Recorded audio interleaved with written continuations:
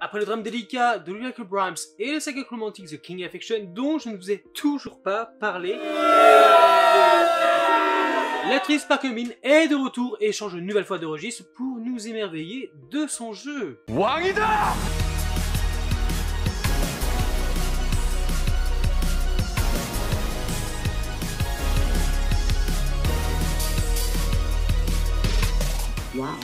Hello, hello, heureux de vous retrouver pour vous parler de mon dernier coup de cœur en date, Yesterday, Attendez Who.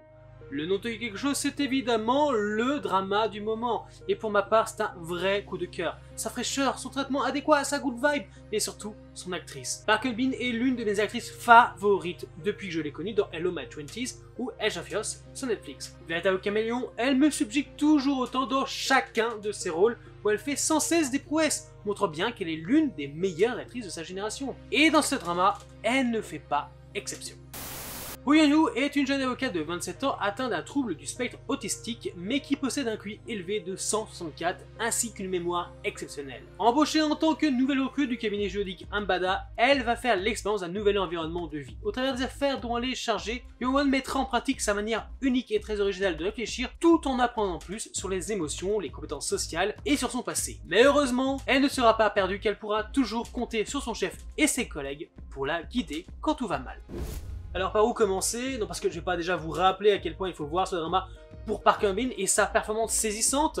Ce sera peut-être un peu trop tôt, mais je suis à deux doigts. Première chose à dire, c'est que ça fait du bien ce genre de drama. Dans le sens où on aborde des sujets dont on parle peu, qui traitent de personnes, de maladies que généralement on essaie d'oublier parce que pour certains ça fait peut-être honte et pour d'autres, ben, ils veulent tout simplement ne pas, ne pas qu'on en parle. Comme par exemple le fait de si tu es nouveau sur la chaîne ou tu n'es pas encore abonné, bah écoute, moi je t'y invite fortement. T'actives la cloche, tu lâches un petit like, un commentaire en fin de vidéo, ça fait toujours plaisir, c'est encourageant. Et en plus, eh, tu sais quoi? Ça te coûte rien. En plus, tu ne pourras rien louper de mon contenu à l'avenir. Si celui-ci te plaît, bien évidemment, ce que j'espère. Il faut dire que les dramas qui traitent de TCA, il y en a très peu. On se souvient évidemment de It's Okay Not To Be Okay, pépite incroyable disponible sur Netflix, si vous ne l'avez toujours pas vu. Ou encore Move to Heaven, où là par contre c'est moi qui ne l'ai toujours pas vu. Oui, je sais, honte sur moi. Mais Essonné Attendez Who ne fait pas que aborder les TSA. Le drama va aussi aborder tout un tas d'autres sujets qui sont quand même relativement importants, dont il faut parler. Des relations cachées, en passant par des liens sacrés d'amitié, qui tournent autour de secrets de famille. Rien qu'avec ça, le drama est une super pépite où chaque épisode a sa particularité.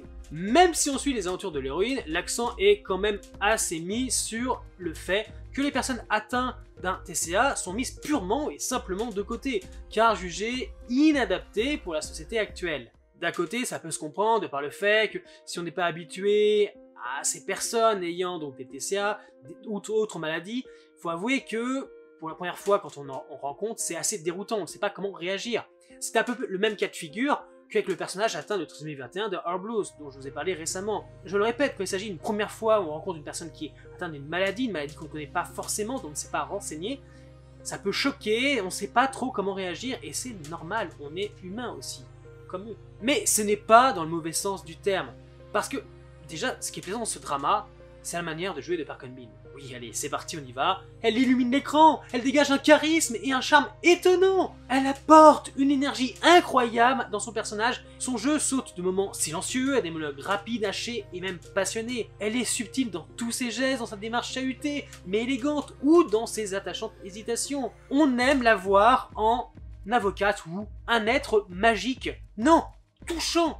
Une personne qu'on aimerait connaître, tant elle dégage très belles choses je, vais continuer encore un peu, elle est incroyable, elle interprète son personnage d'une manière que j'ai trouvé extrêmement juste, où on sent bien qu'elle s'est renseignée sur le sujet pour ne pas tomber dans la caricature. Même si, évidemment, vous avez toujours trouvé des gens, gna gna gna, non, moi je trouve qu'il y a caricature, c'est pas comme ça, gna gna gna, je connais des gens, blabla, t'en trouveras toujours. Taisez-vous, parce que quand même, il y a des spécialistes de des TCA et une bonne partie du corps médical, donc des professionnels qui ont acclamé l'incroyable performance et la retranscription du personnage et de sa maladie. Donc si eux trouvent que ce n'est pas caricatural, qu'est-ce que tu as à baver?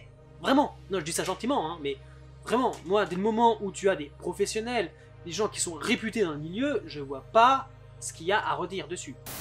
En plus, on va le dire, tout au long du drama, le personnage est simplement extrêmement attachant, avec ses petits moments de faiblesse et son apprentissage quotidien du monde qui l'entoure, un monde qu'elle ne connaît pas, qu'elle évalue d'une autre manière. Ses meilleurs moments pour moi resteront bien évidemment ces illuminations où elle invite nombre de mammifères marins dans son esprit. C'est des moments que j'ai trouvé quand même hyper rafraîchissants, qui sentent bon l'océan, la liberté, l'originalité. D'ailleurs, ce parallèle qu'elle fait avec sa passion aquatique et sa manière unique de réfléchir avec leurs aides, j'ai trouvé ça vraiment intelligent et encore une fois, désolé, unique en son genre. On n'a jamais vu ça. C'est top Alors évidemment, je parle, je parle, mais Park n'est évidemment pas la seule à saluer, à acclamer dans ce casting parce que tout le cast est incroyable. Le quatuor que forment les quatre avocats principaux donne à l'histoire une pêche d'enfer et un côté que j'ai trouvé très familial. loup évidemment, mais aussi la fabuleuse Suyeon qui aura le droit à un moment très émouvant avec son ami, quand l'héroïne lui dira ce qu'elle pense d'elle. Ça te faire couler quelques larmes. J'étais super ému dans ce moment. Moi, si j'étais à la même table, j'aurais laissé mes larmes couler, mais un truc de fou. En plus, bon, au début, on pouvait un peu douter d'elle parce que, vu qu'elle connaît l'héroïne depuis super longtemps, elles ont fait des études ensemble, elle est un peu saoulée de sa manière de faire, mais elle reste pas longtemps comme ça parce qu'elle a un bon cœur, c'est quelqu'un d'attachant et d'extrêmement sincère, je l'ai adoré. Ensuite, tu vas avoir le jaloux Minou, le personnage que j'ai le plus détesté dans le drama. Je l'ai trouvé opportuniste, arriviste au possible, c'était un peu le roi des coups bas et de la mauvaise foi. J'aurais vraiment espéré qu'il change tout au long du drama, mais... Ce sera pour une prochaine fois. Puis tu as le fabuleux Myunsok, le chef qui est ouvert d'esprit, qui réfléchit et qui essaie de comprendre sa nouvelle recrue, tout en apportant cet humour d'acting propre à cet acteur. J'adore cet acteur, il y, a, quelque chose qui se dégage de lui, c'est... C'est pas un comique relief, mais c'est un personnage bah, qui dégage énormément de fun, dans, ses attitudes, dans sa manière de, prononcer son texte, dans sa gestuelle. J'avais déjà kiffé dans les autres dramas que j'avais vu avec lui, et là, bah, encore une fois, bah, j'ai beaucoup ri à ses côtés. Et enfin, il y a surtout Juno, le crush de beaucoup de spectateurs, je pense.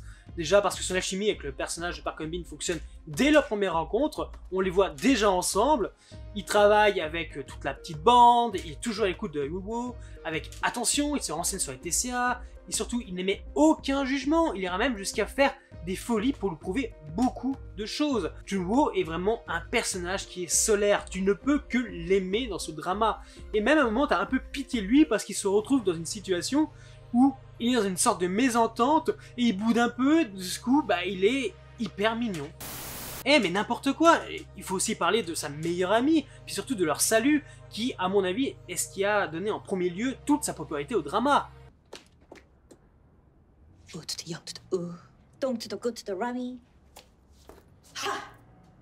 Alors oui, c'est kitsch, mais c'est tellement fun, tellement drôle, on dirait presque qu'elles font un kata de Super Sentai.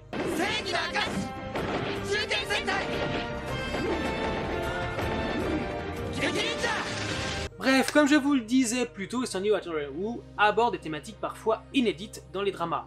Une femme qui cache sa relation interdite depuis toujours, un jeune adulte autiste qui communique d'une toute autre manière que celle qu'on va connaître avec l'héroïne, des femmes qui se battent pour faire connaître leurs droits, faire entendre leur voix, ou encore une jeune femme adulte à l'âge mental, plus jeune, supposée victime d'abus sexuels. D'ailleurs, ce dernier point est inspiré d'une histoire vraie. Et ce fut la plus grosse polémique du drama et la plus grosse critique que j'ai pu lire. Ça va même accuser le drama de se servir de cette affaire, de, cette sous-intrigue, pour justifier la romance du drama. Une romance pourtant qui est ben, hyper crédible, délicieusement bien faite et agréablement rythmée. Donc en fait, je pigeais qu'à moitié la critique. Je voyais ce que les gens voulaient dire, bien sûr, mais je trouvais que bah on n'était pas dans le même cas de figure. C'est ouais, en fait, t'as le cul entre deux chaises. D'un côté, tu comprends ce qu'ils veulent dire, mais en même temps, bah ouais, on veut de la romance nous quand même. Hein. Et puis aussi, ça fait quand même un beau message que dire que bah, même si t'es autiste, t'as quand même le droit à l'amour, tu as le droit de connaître les mêmes sentiments que n'importe qui. Je pense que c'est ça le message surtout à, retenir. Mais en fait, je pense surtout que cette affaire pointait plus du doigt la différence dans la manière d'élever un enfant autiste. Juno est élevé dans la bienveillance d'un père qui lui a tout donné tout en le laissant faire ses propres expériences, en la protégeant, en la surveillant, en la guidant, alors que la jeune fille semble être, elle, enfermée dans la vision négative qu'a sa mère des hommes. L'empêchant alors de vivre sa propre vie, de faire ses propres expériences et peut-être ses propres erreurs. Et je peux comprendre quand tu t'occupes d'un enfant autiste qu'il y a cette dangerosité de pas non plus laisser faire n'importe quoi. Bon, c'est un exemple parmi tant d'autres parce que pour chaque affaire, on pourra y passer des heures, tellement les sujets sont divers, mais je pense que si on devait tout aborder, bah ce serait une vidéo de 3 heures. Ceci dit, ça montre que c'est hyper cool de regarder une série qui est aussi diverse, qui aborde de tels thèmes. Dans cette approche d'ailleurs, ça nous rappelle sans mal Tomolo, qui lui aussi traitait de pas mal de choses différentes au travers de son intrigue générale. Je vous le dis comme ça, mais cette année 2022, c'est un grand cru niveau drama. Sérieusement. Scénaristiquement parlant, Estolani Attendez Où est un drama procédural au style unique qui maintient un parfait équilibre entre réflexion, humour et émotion? Il s'appuie sur une narration que j'ai trouvée très fluide, rythmée.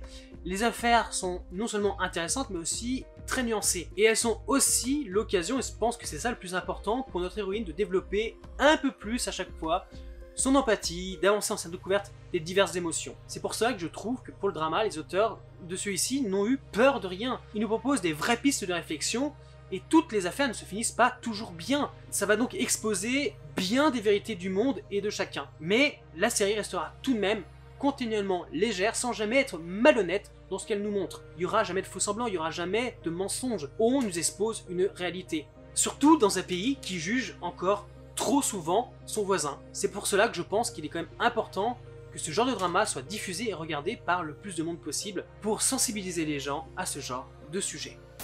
Bref, tu l'as compris, Extraordinary Attendez où est le drama du moment à regarder, d'ailleurs je te l'ai déjà dit en début de vidéo, et la hype qu'on voit partout est sacrément méritée. C'est extraordinairement bien écrit, extraordinairement bien joué, extraordinairement bien fait, Extraordinary Attendez où le titre veut tout dire. En plus, son succès retentissant a déjà donné lieu à plusieurs annonces. Il est déjà prévu que le drama soit adapté en webtoon. Et évidemment, la saison 2 arrivera en euh, attends, 2023 ou 2024, peu importe, il y aura une saison 2. Puis de toute façon, quand tu regardes les deux derniers épisodes, on te fait bien sentir que la série ne peut pas se terminer par ces épisodes-là. Et ça me fait penser que je pense que le plan de départ était vraiment d'une saison et qu'en cours de route, ils ont changé leur plan au vu du succès explosif du drama parce que là, clairement, en fin du dernier épisode, c'est clairement ouvert et on attend avec impatience les nouvelles aventures de notre avocate favorite et de sa joyeuse clique. Donc, gros gros gros coup de cœur pour moi. Tu l'as vu?